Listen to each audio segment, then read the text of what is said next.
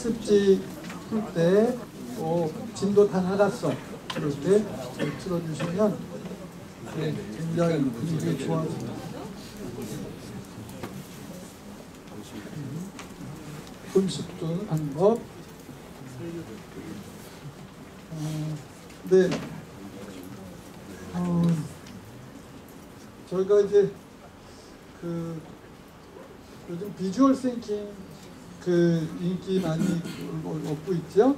근데 visual thinking 시각 활용 수업이 있다면 저는 청, 그 청각 활용 수업을 많이 연구를 했어요. 그래서 어 제가 음, 조금 아까 선생님들 그 음성 변조기 보셨죠? 애들이 이거에 열광을 하더라 이거지. 그래서 이 수업을 어떻게 하면 좀 재밌게 할까? 근데 이미 이 앱이 나와 있어요. 네, 그 음성 변조 앱이 나와 있어. 그래서 애들한테 이걸 소개해주고 수행 평가를 할 때 음성 변조 가능하다 해버리니까 빅뱅이 일어나. 이게 놀이가 돼버려요. 그래서 앞으로 선생님들께서 요 바로 요거입니다. 소가 적용 음성 변환기 요거를 에, 어, 수업 시간 수업에 적극 도입하세요. 근데 이 안드로이드용이나 아이폰은 다른 앱이 있을 겁니다. 다른 앱으로 해서 그러니까 아까 말씀드렸죠. 애들은 어떤 바퀴벌레보다 어떤 벌레를 더 싫어한다? 진지충을 더 싫어한다. 어, 진지충 더 싫어. 그러니까 어, 제가 서울시교육청에 아, 서울교육연수원에 이 조원평가 C등급 받아서 재교육 1년간 받는 선생님들 그 선생님들을 만나보고서 깜짝 놀란 게 세상에 이렇게 교직에 집, 그 집념이 있고 진지할 수가 없어. 근데 애들이 그걸 싫어하는 거야. 어. 그러니까 이분들은 확신에 차 있고 또 어, 거의 박사들이 많으셔요. 그러니까 이상한 분들이 아니에요. 그러니까 애들하고 소통이 안 될 뿐입니다. 그러니까 손님들께서 열심히 사셨는데 소통에 소통의 것만 탁 놓으시면 돼요. 어, 그리고 그리고 또 애들 수행평가 100% 하도록 하지 마시고 그러면 싸움이 일어나요. 우리나라 아이들의 30%는요 ADHD, 게임 중독, 우울증이에요. 걔네들은 숙제를 안 하고 못 해야 돼. 그러니까 걔네들이 안 하고 못 하니까 수행 점수가 한 70%대로 나오는 거예요. 그러면 저는 오히려 숙제 안 한 애들 나중에 마감 날짜 지나면 저는 그냥 마감 날짜까지 하면 다 만점이야. 노성비에서 참 쉽죠. 루브리 뭐 무슨 평가 기준이 없어. 마감 날짜까지 내면 만점이다. 하루 지나면 1점 감점이다. 이렇게 해버렸어요. 근데 이것 때문에 민원을 받아본 적이 지난 수십 년 동안 단 한 번도 없습니다. 왜 그러냐? 애들한테 다양하게 너희들이 장기자랑이라고 생각하고 해라라고 했거든요. 지금 여기 앞으로 이제 보실 텐데 얘네들이 친구들한테 자기 잘난 척을 할 기회가 됐거든. 어, 결국 수행평가는 무엇을 높여주는 계기로 활용해야 된다. 자존감을. 그러니까 자기들의 자존감을 높여주는 수행평가이기 때문에 애들은 정말 고생스러워도 하고 그리고 점수에 애들이 그렇게 집착하지 않습니다. 근데 지금 선생님들 이미 평가 기준 다 나왔죠. 그러면 어떻게 뭘 집어넣을 수 없잖아요. 그 비, 어떤, 어떤 방법으로 지금이라도 애들에게 이런 다양한 수행 평가를 가능하게 할 수 있다. 무엇을, 무엇으로 유혹하면 되실까? 선생님들이 받은 유인물 중에 있습니다. 네. 아니, 아니, 학습지 중에 없나요? 음. 자, 무엇을 통해서 네, 누가 말씀하셨어요? 어, 여기 누가 말씀하셨는데? 아, 오케이. 세트, 이거 세트.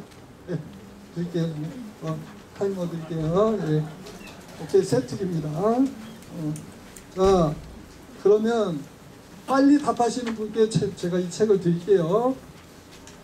세특, 교과 세특에 몇 자까지 적어줄 수 있다? 아, 네, 여기 선생님 말씀하셨어요. 예, 거기 써 있지 않나요? 500자 거기 써 있잖아. 네. 자, 검색 능력이 탁월하신. 예. 그런데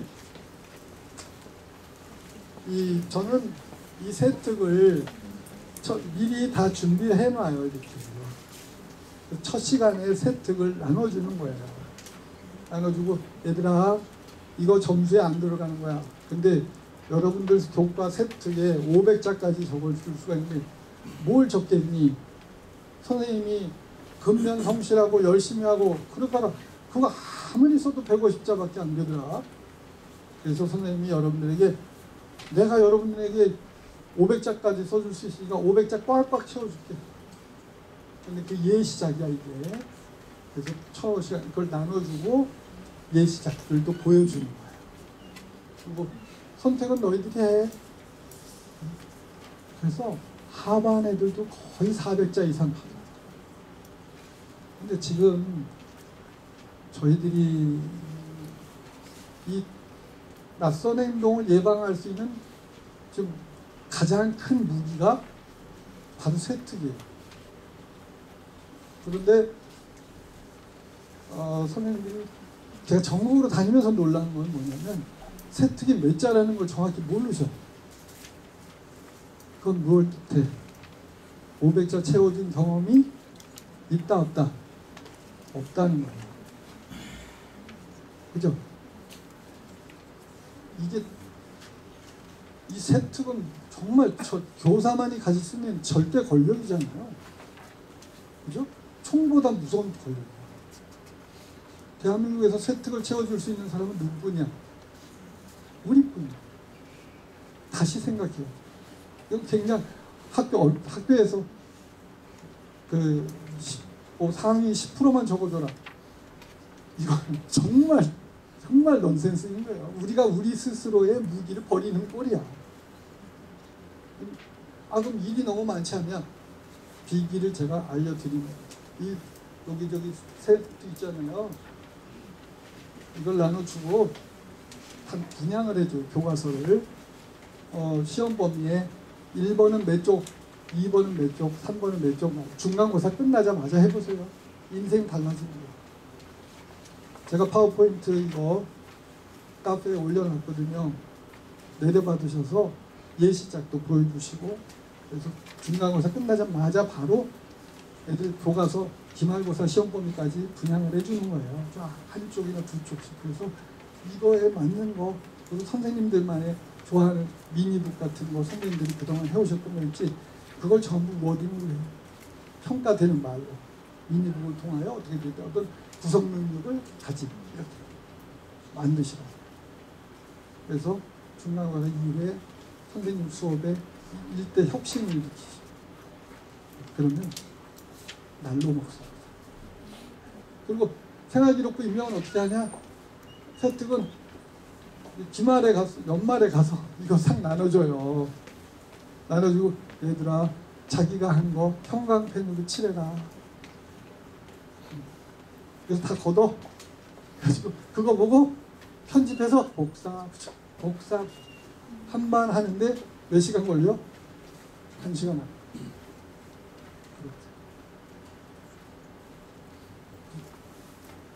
이해 되셨나요? 네. 근데 어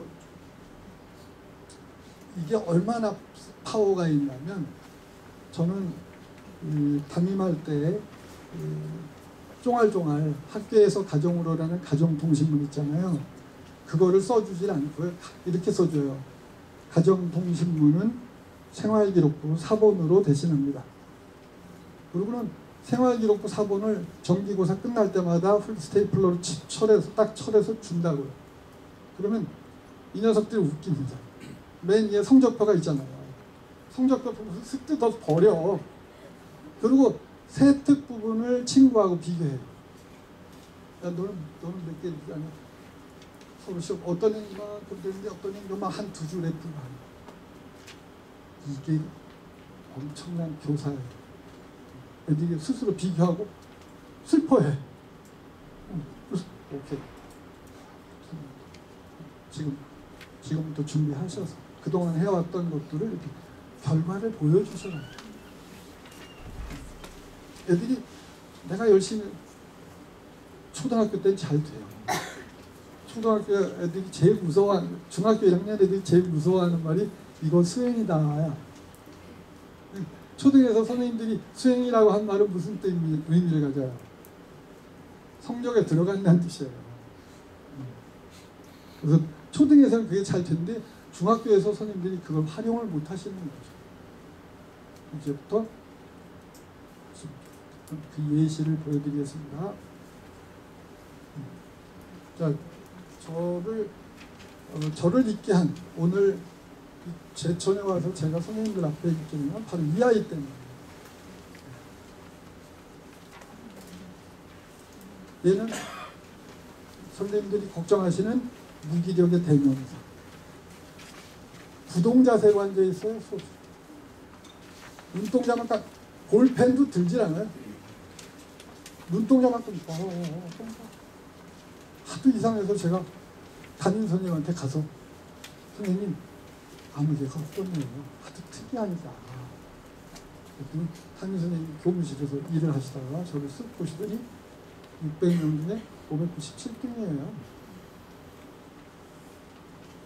그럼 다시 자기 일 모셨어. 이때쯤 되면 우리 그 선생님의 메시지 받아들이죠. 이해하시죠? 그런데 이 아이 연습장이 딱 펼쳐져 있는 어느 순간에 지나가다가 그걸 본 거예요. 그게 제 인생의 전기가 됐어요. 야! 만화가 장난이 아니야. 만화를 잘 그리는 애하고 못 그리는 애하고 가장 큰 차이는 눈에 있어요. 못 그리는 애들은 눈이 다 똑같아요. 얘잘 보세요. 굉장한 수준이에요. 그래서 제가 얘야, 너 교과서에 있는 단어를 만화로 표현해 줄래? 그 다음 날로 그려왔은 거예요. 따서.